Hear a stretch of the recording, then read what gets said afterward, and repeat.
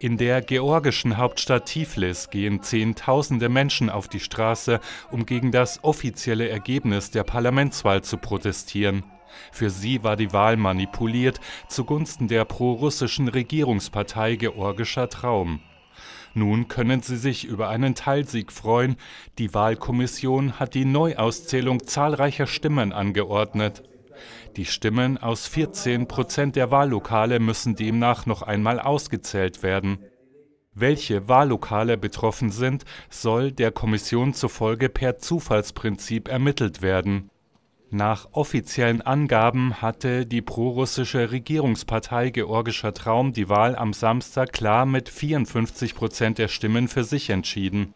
Die proeuropäische Opposition und Wahlbeobachter beklagten zahlreiche Unregelmäßigkeiten.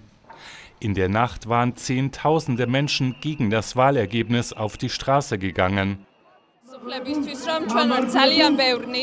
Wir sind viele und wir akzeptieren das Ergebnis der Wahl nicht. Das Ergebnis ist gefälscht. Es ist eine Beleidigung für das georgische Volk. Wir werden das nie akzeptieren.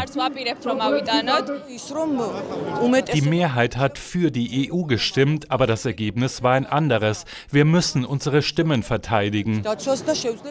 Politiker westlicher Länder hatten eine Untersuchung der Wahl verlangt.